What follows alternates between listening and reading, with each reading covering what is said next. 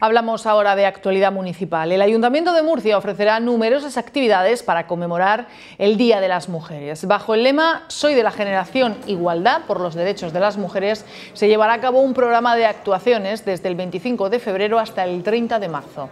Por primera vez se incluyen en este programa parte de las proyecciones de la undécima edición del Festival IBAF para destacar el papel de la mujer en el cine. Además, el municipio acogerá por segundo año consecutivo la carrera de la mujer por su excelente trabajo.